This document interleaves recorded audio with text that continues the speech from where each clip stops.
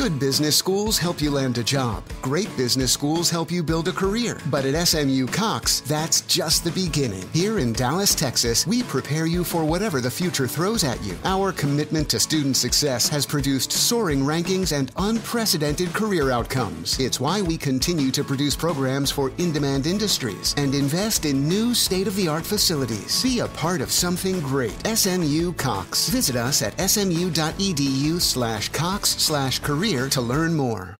Did you know that one in eight kids in Atlanta will go hungry tonight? Eating healthy, balanced meals is essential for kids to learn and grow. That's why Anthem Blue Cross and Blue Shield, an education nonprofit Common Threads, have teamed up to help schools learn about healthier food preparation. In Atlanta, they're joined by the Dream and will provide education, recipes, and knowledge to students and families about healthier options. Visit anthem.com slash dream to learn more. Anthem Blue Cross and Blue Shield is the trade name of Blue Cross Blue Shield Healthcare Plan of Georgia, Inc. What do you think of a uh, possible uh, Adoree Jackson punt returner? I'll never close a door on getting uh, the ball in the playmaker's hands. Um, he's back there working at it, and uh, obviously, you guys know we only suit up 48 people on game day. So the more position flex, the more versatility a player can have, the better. Have you studied him? Have you studied him in the past and how he handled that role? He's dynamic with the ball in his hand. I do know that. So, um, like I said, we'll never shut the door on putting the ball in a playmaker's hands. Does Gunner look comfortable to you back there? He looks like he's moving around kind of slowly to us. I'll let Dabes handle that uh, with him coming back. Um, but he's back there working at it, doing a great job catching the football. How do you kind of weigh, you know, putting somebody back there who's compromised a little bit and just saying, hey, we're just going to just catch the ball and we're fine with that versus wanting to get somebody who's healthy and, you know, get the yardage? Yeah, the biggest thing to me with any returner uh, value is the person has to make sure they can own the football. That's safely securing it because the most telling statistic in terms of winning and losing in this league is turnover margin. So we want to make sure whoever is back there that that guy is owning the football and making smart decisions to catch it. But would you, you consider sacrificing return yards if it meant that you had somebody back there to secure the ball? The the number one priority will always be to secure the ball. So um, to to your point, you know a guy could have all the run skill uh, in this league, but if he doesn't catch the ball well, um, you kind of vacillate with potentially losing the game, which is you know obviously something we don't want to do. Where do you stand at kickoff returner as you enter week one? Uh, you know that's that's more game plan. Uh, you know specific. We'll have different rules for different games and different kickers, um, and they'll they'll be fluid throughout the week, and obviously with the weather changing. When what have you learned kicks, best? When you were returning kicks in the preseason, how cognizant were you of, of, not wanting to show too much of what you're going to use while also wanting to test the new rules? I mean, yeah, no, that's uh, there was there's balance to it because it's it's it was a new rule and it still is a new rule. So you wanted to be able to gather useful information. You didn't want to necessarily just go out there and uh, you know say, hey, we're going to be very vanilla the whole preseason and not actually get good at potentially stuff that you want to do. But at the same time, yes, you are keeping some stuff uh, close to the close to the vest there. So, um, you know, I, I, felt like we we did a good job, and our players did a great job in terms of just owning the fundamentals and the technique. Which I feel, if you can do that in this play, you have a chance. We saw, we saw teams have different approaches with the kickoff returner. You know, the faster, you know, general punt return kind of guy, the bigger guys, the running backs. On a you know general question for you, like on a general basis, what have you learned about the kickoff, and which like what direction would you lean in regards to you know, what the approach is in that? Well, the one thing I did learn about the kickoff is it hits pretty damn quick, um, and you know speed is always always a huge attribute of any returner. So a returner that could eat up grass initially with good catch mechanics, catching it forward, that could get to that initial line of defense, has the biggest best chance of actually having an explosive return in this league. Um, so, and those come in all shapes and sizes. You could have a guy that can get to that line and then their collision balance is poor and they go down with an arm tackle. Or you can have a guy that's a running back that's used to being able to break through tackles and he gets through that initial line and is able to break that arm tackle to get the ex- explosive. So there's there's really strengths and challenges to putting different types of personnel back there. Um, I think at the end of the day, any player that has the ability to make smart decisions with the football, and could eat up grass is going to have a chance to have success in that specific play. What do you think of the notion of this being a new play? Week one, just booming out of the end zone, let everyone else figure it out, and you'll have data to study for, for week two. Yeah, uh, you know, obviously you guys know our stadium. Sometimes you can't control that, you know, with the wind. So you always have to prepare to be able to get uh, those balls that are in play. There is no fair catch to bail you out anymore.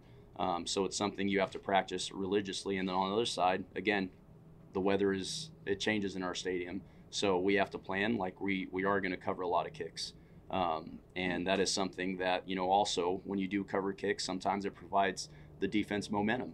Um, so there's going to be a, a, good strategy when it comes to that, um, and then we'll be able to handle that as a staff later in the week not asking what you guys are going to do, but are you expecting to see like the preseason was a lot of like send the ball in the air to the five yard line? Are you expecting a lot of like knuckleballs and bouncing balls across the NFL the first two three weeks? Yeah, I, I think you always got to. You know, these kickers are so skilled, they really are, and the foot accuracy that a lot of these NFL kickers have is very impressive. So their ability to be able to place the ball in the alleys outside the numbers with lower hang times at times. Um, you got to prepare for it because we're dealing with the best in the world. So our returners being able to truly see the ball off the tee and get a jump on it to be able to make sure they own the football is critical for them uh, having success. So I, you know, I do expect us to see a little bit more of that variety of type of kick. What uh, what makes Bryce Ford-Wheaton a good gunner? Love Bryce Ford-Wheaton, by the way. He is he's wired the right way. I think it starts with the mentality. When the mentality is right, the rest of it comes into play. Um, obviously, as a receiver, he has a natural feel for being able to get people off the spot. He's a really good uh, uh, catcher, you know. So, you know, he gives that uh, possession, position flexibility in terms of that. Um, and anybody that's a receiver that's out there, you got to obviously regard them um, in terms of coverage. So I think the mentality number one is awesome because he approaches it like he is going to go win that rep every time. Um, and then again, the the experience of him being a receiver also translates in, in other parts. How challenging is that for him to have impressed you guys with something that he really doesn't have much on film doing? You know, you had other guys who were more experienced here, but the idea that he was able to show you those kind of traits, you know, I would imagine it's not much time to be able to do that. So no he question. has to do, you know, a lot more in a, in a short period of time. So him being a younger player, you, you always question whether the experience will come to life um, and how quickly he can translate to play that position at a high level. But our job as coaches is always to look at whatever their primary position is and put as many similarities that they could have in terms of what they do primarily. Be like, okay, this is the same thing here, except now we're asking you to do this, or this is how it's different, and now we're asking you to do this. Oh, you did this as a receiver. Let's do it again here. You know, so that is always a challenge as coaches to make that learning process happen a lot quicker. And to the kid's credit, I mean, he studies his tail off. He does. He's always there after practice, working extra drills, um, and he truly wants to be great with whatever role that he's given. In kickoff coverage, there usually used to be like layers of coverage in case somebody broke through. Yeah. Can you still do that, or is they so close you can't have a layer? No, it's a great point. Uh, it is. It's definitely uh, more difficult to create layers because everybody is on the the same line, and you are so much closer. And if you think about it, them aligning on the 40 yard line to create layers, you're basically seceding field position right away. So you have to be very strategic with how to how you get to those spots. And can you do that with a uh, a good amount of guys? You know, who knows? You know, but I think uh, the biggest thing is knowing that you're in a stagnant position and having to get off at a slower tempo, whereas guys would be inside the 25 yard line on sometimes the returner catching the ball. You have to be very strategic with creating levels, but also not jeopardizing how much space you're giving up right away. Graham's obviously coming off knee surgery last year. I'm curious what you saw from him this summer and if you kind of have to bring him along slowly during the season or is he just back to full range, you know, week one, let's go? Because we, we haven't really seen him you know, get a ton of opportunities this summer, especially, Yeah. especially in Uh, preseason. So I've seen Graham, uh, the Graham Gano that wins football games in this league. So I'm, I'm really excited to see him put pen to paper. Um, he is a proven kicker in this league, and I'm fully confident in his ability to go make kicks um, at any distance.